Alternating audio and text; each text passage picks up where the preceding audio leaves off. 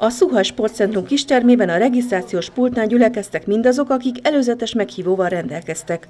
A Roma napot ezúttal egy zárt körű rendezvénynek hirdették meg, okairól a Dombovái Roma Nemzetiségi Önkormányzat elnöke mesélt a rendezvényen. Ez a rendezvény azért lett zárt körű, mert 1500 fő roma lakossága van Dombovárnak, és egyben nem tudtuk megoldani. Tehát nincs akkor termünk, aki ezt a tömeget befogadja, így arra gondoltunk polgármester úrral, közösen leültünk, megbeszéltük, hogy senki, ez fontos leadni, tehát senki nem fog kimaradni a programokból, nagyon színes és változó, változatos programok lesznek. Miután mindenki elfoglalta a helyét, Szabolorán polgármester és Ligorovics Zsolt Roma elnök köszöntötték az egybegyűlteket.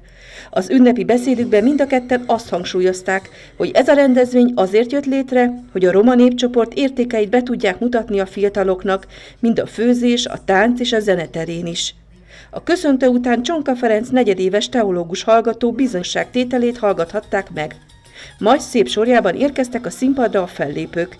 Először Virág József, lakodalmas zenész, majd Győri Márió és testvére szórakoztatták a közönséget. Senki nem tanult kottáról zenélni. Hallásból, ami nagyon fontos, hogy a mi kultúránk az arra épül, hogy én meghallok valamit és el tudom játszani.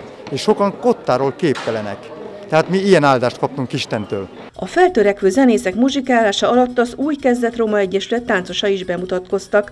A produkcióhoz Ligorovics Zsolt Roma elnök és felesége is csatlakoztak. A fergeteges hangulatot pedig Szegedi Ferenc tangó harmonikás fokozta, ugyanis a roma kultúra szerves részét képezi ez a hangszer.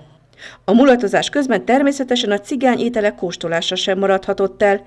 Lecsót, töltött káposztát és kétfajta fűszerezésű pörköltet kóstolhattak végig a megjelentek.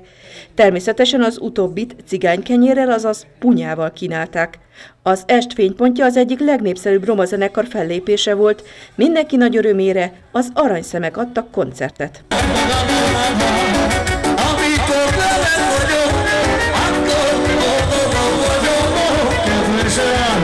somos un mundo real.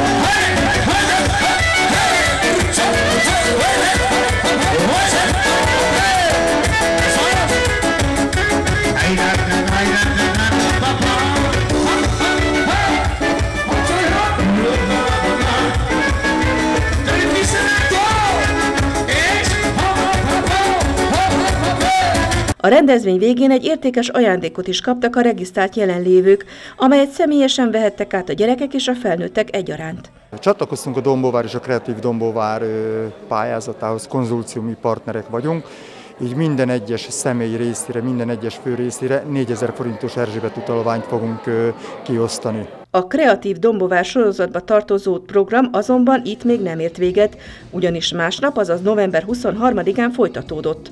A Szuhaj Sportcentrumban Molnár Ferenc Karamell az egyik kereskedelmi csatorna tehetségkutatójában feltűnt, Máté Péter díjas magyar énekes adott koncertet.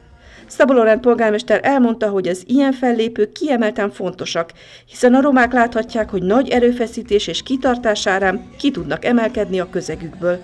A rendezvény ingyenes volt, egy regisztrációs egy igénylésével bárki megtekinthette a műsort.